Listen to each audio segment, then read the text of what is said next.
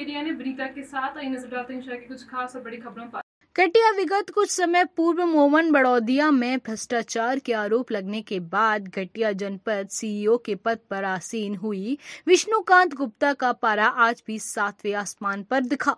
हाल ही में घटिया तहसील के ग्राम जलवा निवासी कमल चौधरी पिता नागूलाल चौधरी के द्वारा प्रधानमंत्री आवास योजना का लाभ प्रदान न करने को लेकर शिकायत जन सुनवाई में की गई थी। कि हितग्राही के साथ भेदभाव पूर्ण व्यवहार कर प्रधानमंत्री आवास योजना के लिए अपात्र बताया गया था।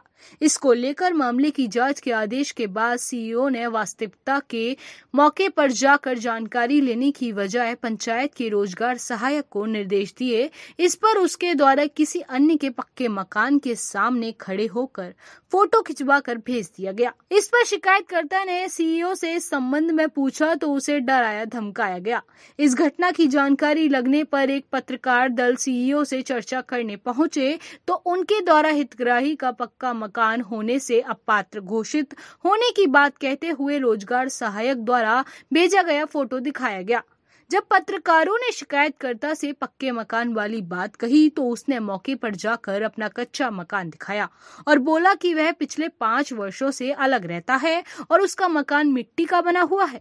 उसने प्रधानमंत्री की आवास के लिए आवेदन किया था, मगर रोज़गार सहायक ने किसी अन्य व्यक्ति के मकान पर फ़ोटो सीईओ के पास भेजा। इस पर पत्रकार उनसे इस संबंध में बातचीत के लिए पहुँचे और उक्त विषय में समाचार के लिए उनके वर्षन मांगे तो उनके द्वारा कहा गया कि मेरी नज़र में समाचार का कोई औचित्य ही नहीं है और कहा कि जनपद पंचायत सीईओ का कोई भी वर्जन नहीं देते हुए ये उनके अधिकार क्षेत्र में नहीं आता है और वर्षन देने से इनकार कर दिया। वरिष्ठ अधिकारियों को चाहिए कि सीईओ मैडम की कार्यप्रणाली और उनके व्यवहार को लेकर उचित कार्रवाई कर उन्हें पद की गरिमा और जवाबदारी का एहसास दिलाकर उनका दिमागी दिवालियापन दूर कर उन्हें समाचार का क्या औचित्य है समझाया जाए।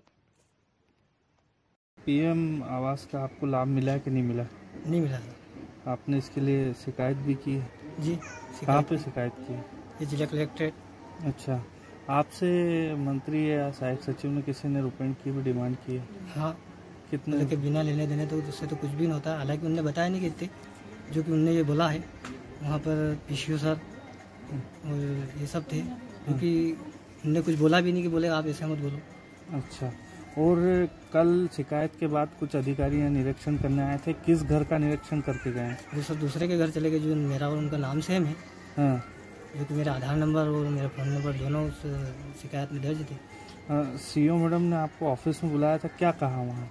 बोले कि आप बिना कारण किसी की शिकायत करना अच्छा नहीं है। हाँ। बोले आपने हमारा नाम कैसे ऐड कर दिया? हाँ। भाई आपने नहीं मांगे तो आपके अधिकारी ने मांगे। हम्म, आपके कर्मचारी ने मांगे पर मांगे तो सही। अच्छा। तो आपने ये नहीं बोला कि मैं पात्र हूँ मेरे को मैंने आपात्र बोला मैं पात्र हूँ। हाँ।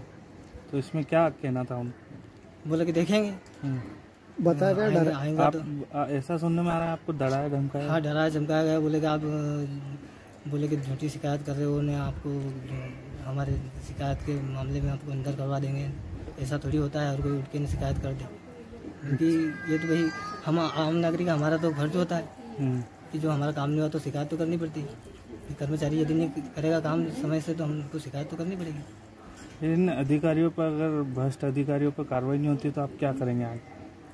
सर मैं कलेक्टर कार्यालय जाऊँ और आगे भी उच्च अधिकारियों को शिकायत करूँ ठीक।